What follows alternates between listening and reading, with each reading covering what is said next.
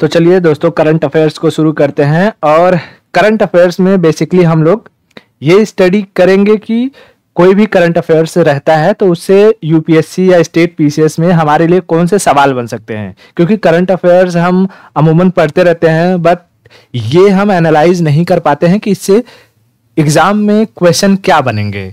तो हमारे इस सीरीज़ का यही मोटो है कि हम किसी भी करंट अफेयर से बन सकने वाले सवालों को समझें और उन्हें एनालाइज करें, याद रख सके, ताकि जब एग्ज़ाम में वो सवाल आए तो हम ये जान सके कि अच्छा ये किस करंट अफेयर से आया था। और ये बात हमेशा याद रहे कि करंट अफेयर्स को समझने के लिए आपको जीएस की पूरी नॉलेज होनी ज़रूरी है। जब तक आपको जीएस के बारे में नॉलेज नहीं है, आप ये समझ ही नहीं पाएँगे कि किस करंट अफेयर से क्या सवाल बन पाएँगे। ठीक है? तो आज का जैसे हमारा करंट अफेयर करंट अफेयर्स है वो कौन सा है कि मोदी जी ने लक्षद्वीप में विज़िट किया और वहाँ पर उनके विज़िट से जो न्यूज़ निकल के आई है, मालदीव का क्या रिश्ता है, भारत और मालदीव में क्या टेंशंस बने हुए हैं, उससे हमारे लिए क्या क्वेश्चन बन सकते हैं, हम इसके बारे में चर्चा करेंगे। तो थोड़ा सा अगर मैं ग्लिम्स दे दूँ इस करंट अफेयर्स के बारे में कि भाई जैसे ये मालदीव के जो प्रेसिडेंट हैं, मालदीव के प्रेसिडेंट है मिजू। अब इन्होंने अपने इलेक्शन कैंपेन के लिए, वहाँ पर मालदीव में इलेक्शन चालू होने वाले हैं तो इलेक्शन कैंपेन के लिए भारत के खिलाफ बहुत सारे ऐसे स्टेटमेंट दिए हैं। प्रधानमंत्री मोदी के खिलाफ स्टेटमेंट दिए हैं। सड़कों पर जब उनकी पार्टी के द्वारा रैलीज निकाली गई तो लोगों ने मोदी के मास्क पहन करके अनाप शराब नारे लगाए हैं। तो जिसकी वजह से अगर हम देखें तो पिछले कई महीनों से हमारे जो इंडिया है, हमारा देश, भारत और मालदीव के बीच में जो रिश्ते हैं, वो बिगड़ते हुए नज़र आ रहे हैं।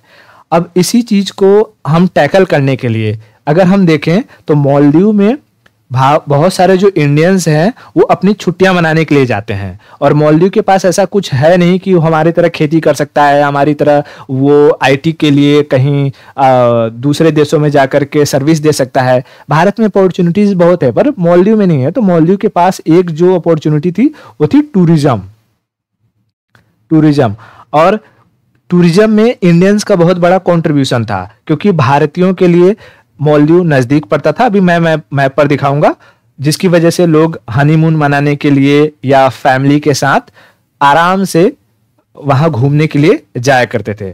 और ये बात बहुत ज़रूरी है जानना हमारे लिए भी कि मालदीव ने अपने इस नीड को समझा और उसने अपने आप को इस तरीके से डेवलप किया कि वहाँ पर टूरिज़्म से रिलेटेड जितनी भी फैसिलिटीज़ थी, सबको उपलब्ध करवाया जिसकी वजह से यह टूरिस्ट का एक फेवरेट डेस्टिनेशन बना और यही मॉलदीव की इकोनॉमी का सोर्स था। पर मुझे लगता है कहीं ना कहीं मॉलदीव ने इस बात को अंडरस्टिमेट किया कि अगर हम भारत के साथ अपने रिश्ते खराब करते हैं तो अल्टीमेटली उन्हें ही नुकसान होगा।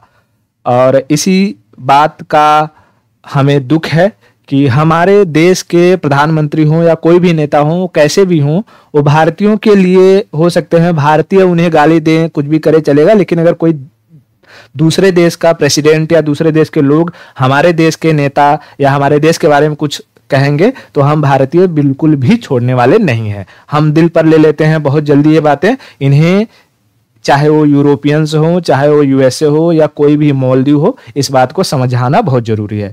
बस इसी के लिए मोदी जी बढ़िया गए, वहाँ पर विज़िट किया अपने लक्षद्वीप में और वहाँ पर भी टूरिज़्म सेक्टर को बढ़ावा देने के लिए अपील किया और वहाँ पर कई सारे प्रोजेक्ट के लिए मोदी जी ने अप्रूवमेंट दिए। अब, क्योंकि मोदी जी की फ़ैन फॉलोइंग इतनी है कि वो कहीं पर भी अगर जाएँगे तो वो हाईलाइट होगा ही होगा। और मोदी जी के दो दिन के विज़िट के बाद मॉल, ये जो हमारा लक्षद्वीप था, वो बहुत ही हाईलाइटेड था। वहाँ पर उन्होंने अलग अलग एक्टिविटी की, जैसे पानी में अंदर जा करके उन्होंने मरीन्स वगैरह को देखा, उसके बाद बीचेस पर टाइम स्पेंड किया, और उनकी सारी की सारी अगर हम बात करते हैं फ़ोटोज़ को उन्होंने अपने ट्विटर हैंडल पर डाला और ट्विटर पर उनकी एक बड़ी फॉलोइंग होने की वजह से जो लक्षद्वीप था, वो पूरी दुनिया के नज़र में आया हुआ है। तो अब इससे समझेंगे कि हमारे मालदीव जो हो गया और हमारे देश इंडिया या लक्षद्वीप से रिलेटेड क्या सवाल बन सकते हैं। तो सबसे पहले मैं कुछ ये दिखा देना चाहता हूँ कि जैसे यहाँ पर इनके विज़िट के बाद पीएम मोदी के विज़िट के बाद यहाँ पर कुछ आइलैंड्स हैं लक्षद्वीप के जो बहुत ही न्यूज़ में आ चुके हैं और जिनके बारे में हमें पता नहीं था अभी तक, लेकिन सवाल बन सकता है कि ये आइलैंड का नाम दे दे जैसे कि आगाती आइलैंड हो गया ठीक है? उसके बाद मिनी कोय आइलैंड के बारे में सब लोग जानते हैं और कवरती आइलैंड के बारे में सब लोग जानते हैं लेकिन कालपेनी आइलैंड हो गया। तो कालपेनी हो गया या आगाती हो गया इन सब आइलैंड्स के बारे में हमें पता नहीं था। तो ये सारे आइलैंड्स के बारे में सवाल बन सकता है तो इनसे हम समझे कि, कि अच्छा क्या सवाल बनेगा और उसे हम कैसे टैकल करेंगे ठीक है? तो सबसे पहले हम थोड़ा सा लक्षद्वीप के बारे में अगर हम समझना चाहें कि क्या है लक्षद्वीप तो हमारे लिए भैया ये यूनियन टेरिटरी है लक्षद्वीप।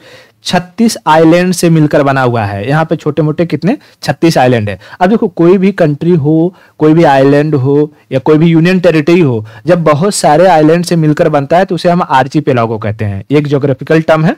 अगर आप ज्योग्राफी नहीं पढ़े हैं तो यूट्यूब पर वीडियो अवेलेबल है इंडियन मैप वर्ल्ड मैप सब कुछ वहाँ पर आप देख सकते हैं। तो 36 आइलैंड से मिलकर के बना हुआ है 32 स्क्वायर किलोमीटर का एरिया है, ठीक है? उसके बाद एटॉल्स क्या होते हैं? तो कोरल्स होते हैं। जैसा कि मैंने जब यहाँ पर आपको इमेज दिखाया, यहाँ पर ये ये, अंदर जो क्या है, अंदर ये कोरल्स हैं। कोरल्स को ही हम लोग एटॉल्स कहते हैं। कोरल से बने हुए आइलैंड्स को एटॉल्स कहते हैं। तो कुछ कुछ आइलैंड्स हैं जो कोरल से बने हुए हैं, इसलिए उसे हम कहते हैं वहाँ बारह एटॉल्स है वहाँ पर, ठीक है? कोरल रीफ का भी नाम सुना होगा आपने रीफ्स होते हैं, जैसे दुनिया में सबसे बड़ा रीफ कहाँ है? तो ऑस्ट्रेलिया में पाया जाता है ग्रेट बैरियर रीफ कहा जाता है। अब लक्षद्वीप पर वापस आते हैं तो लक्षद्वीप की कैपिटल की बात करें तो कवरत्ती है, कवरत्ती आइलैंड लक्षद्वीप की कैपिटल है। मैं दिखाऊँगा मैप पर भी मैप पर भी कि वो कहाँ पर है, ठीक है?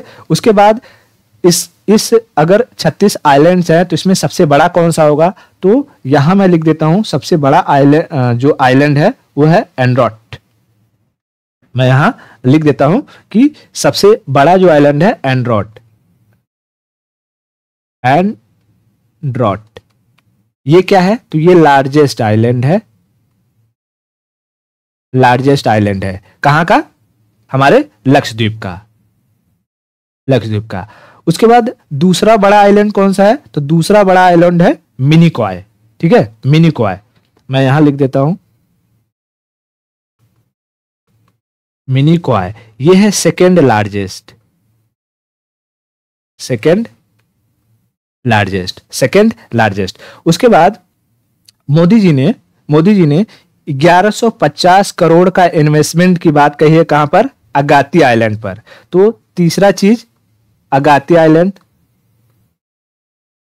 Agatti island Agatti island पर 1125 50 करोड़ का इन्वेस्टमेंट ठीक है, ग्यारह सौ पचास करोड़ का इन्वेस्टमेंट कहाँ होगा? अगाती आइलैंड पर होगा। अगाती आइलैंड पर होगा। टोटल कितने आइलैंड से मिलकर बना है? तो 36 आइलैंड से मिलकर बना हुआ है। अच्छा इन सारे आइलैंड्स का अगर हम शेप की बात करते हैं कि शेप कैसा है, मैं यहाँ लिखता हूँ शेप तो इन सबका जो शेप है वो घोड़े की नाल की तरह है मतलब कुछ ऐसा है। इसे हम कहते हैं हॉर्स सू हॉर्स सू, घोड़े की नाल की तरह इनका शेप है। घोड़े की नाल की तरह इनका शेप है। अच्छा लक्षद्वीप का कैपिटल क्या है? तो कावरत्ती कावरत्ती। तो यहाँ पर एक और ऐड हो जाएगा आइलैंड्स में हमारा कावरत्ती आइलैंड पहले तीन याद रखना एंड्रॉट मिनिक्वाय आगाती देखो मिनिक्वाय और कावरत्ती नहीं भूलेगा कोई। क्यों? क्योंकि कावारती वहाँ का कैपिटल है और मिनिक्वाय सबसे सदर्न में है, साउथ में है, सबसे सदर्न पार्ट है हमारे लक्षद्वीप का, मिनिक्वाय। लेकिन ये एंड्रॉट और आगाती ये याद नहीं था तो एंड्रॉट याद रखना है। एंड्रॉट सबसे बड़ा है और आगाती पर ग्यारह करोड़ का इन्वेस्टमेंट है। इसी के साथ एक और आइलैंड कालपेनी आइलैंड ठीक है? कालपेनी आइलैंड पर वहाँ पर वाटर में जितने भी स्पोर्ट्स एक्टिविटी होती हैं, वो उपलब्ध कराई गई हैं लक्षद्वीप गवर्नमेंट के द्वारा। तो मैं यहाँ ऐड कर देता हूँ। हमारे पाँच आइलैंड्स देखो कौन कौन से। उन्हें याद रखना बहुत ज़रूरी है। मैं लिख देता हूँ यहाँ पे। देखो नंबर वन हम लिखेंगे तो हमारा हो जाएगा ए से मैं शुरू करता हूँ अगाती अगाती पर क्या है? 1150 करोड़ का इन्वेस्टमेंट दूसरा ए से हो जाएगा एंड्रॉट एंड्रॉट क्या है? तो लार्जेस्ट आइलैंड है। ठीक है? लार्जेस्ट है। तीसरा, हम बात करेंगे तो हमारा है मिनी कॉय मिनी कॉय क्या है? तो ये सेकंड लार्जेस्ट है। सेकंड लार्जेस्ट है। उसके बाद, चौथा अगर हम बात करेंगे तो कालपेनी आइलैंड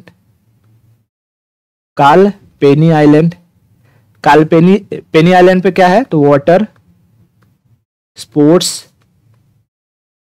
एक्टिविटी एक्टिविटी वहाँ हमें देखने को मिल जाती है। और पांचवा हमारा जो आइलैंड है, जो हमें याद रखना, वो रखना है कावारती कावारती क्या है? तो कैपिटल है। कैपिटल के साथ साथ कावारती पर ही हमें मरीन म्यूज़ियम देखने को मिलेगा। क्या देखने को मिलेगा? मरीन म्यूज़ियम मरीन म्यूज़ियम देखने को मिलेगा मरीन म्यूज़ियम देखने को मिलेगा। उसके बाद एक चीज़ और याद रखनी है कि ये जो मिनी क्वाय है, मिनी क्वाय पर इंसान नहीं रहते हैं, ये पक्षियों के लिए फ़ेमस है। बर्ड्स हैबिटेट बर्ड्स हैबिटेट किसके लिए फ़ेमस है? पक्षियों के लिए फ़ेमस है। पक्षियों के लिए फ़ेमस है। बर्ड्स हैबिटेट बर्ड्स हैबिटेट इतना चीज़ क्लियर हुआ? ओके ठीक है। चलो, अब मैं अगर दिखाऊँ, यहाँ बाद में आते हैं। पहले हमने सारा का सारा ये न्यूज़ देखा। देखो कालपेनी आइलैंड यहाँ पर था यह मैंने बता दिया। मरीन म्यूज़ियम कहाँ है? कावरत्ती पे। ये अभी न्यूज़ में हो गया। ठीक है, आगाती आइलैंड के बारे में मैंने बता दिया और मिनी क्वाय के बारे में बता दिया। एक इसमें जो मेंशन नहीं था कि सबसे बड़ा आइलैंड कौन सा है तो वो था एंड्रॉइड उसके बारे में भी मैंने बता दिया। अब मैं इसे आपको मैप पर चल के दिखा देता हूँ कि मैप पर ये कहाँ कहाँ पर है और कुछ चीज़ें और है जो मालदीव और लक्षद्वीप को अलग करती है। उसे हम चैनल्स कहते हैं। वो चैनल्स कौन कौन से हैं, वो हमारे लिए इंपॉर्टेंट हो जाएँगे। ठीक है? तो गूगल मैप मैं ओपन कर लेता हूँ। और यहाँ ये रहा हमारा प्यारा भारत, थोड़ा सा ये लोड हो जाए। देखिए, ये हमारा प्यारा भारत है। उसके बाद यहाँ हम आ जाएँगे केरला, और केरला के सामने यहाँ देखेंगे तो हमें वेस्ट में क्या दिखाई देता होगा लक्षद्वीप। लक्षद्वीप देखेंगे, यहाँ छोटे छोटे छोटे छोटे बहुत सारे आइलैंड है सारा का सारा। अब देखो, ये हमारा आगाती आइलैंड ये हमारा कावरती आइलैंड जो कैपिटल है, ये आगाती है, जहाँ पर डेवलपमेंट के लिए 1150 करोड़ का खर्चा किया गया है, ठीक है? उसके बाद एंड्रॉट है ये, जो सबसे बड़ा आइलैंड है, ठीक है?